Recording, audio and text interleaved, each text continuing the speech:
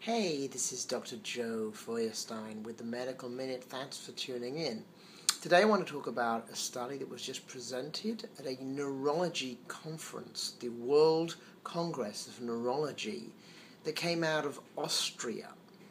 And what they looked at was a group of women, average age was 60 and older, about 700 plus women who weren't particularly healthy. About 40% of them had heart disease, at least 10% had diabetes, at least 70% were overweight.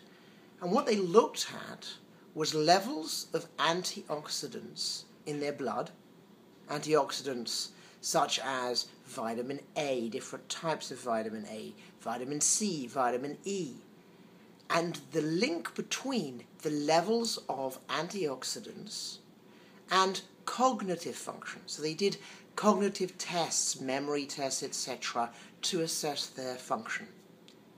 And the results are fascinating. What they found is that there was a direct association between improved cognitive function and the highest levels of vitamin A of the different varieties of vitamin A. This was not seen with diff- with other types of vitamins. So my take on this is that you want to be eating foods that are high in the different types of vitamin A. Lutein coming from tomato, beta carotene coming from carrots. These were the things that seem to help with cognitive function, and these are the things you should be having in our diet. This is Dr. Joe Feuerstein with the Medical Minute. Namaste.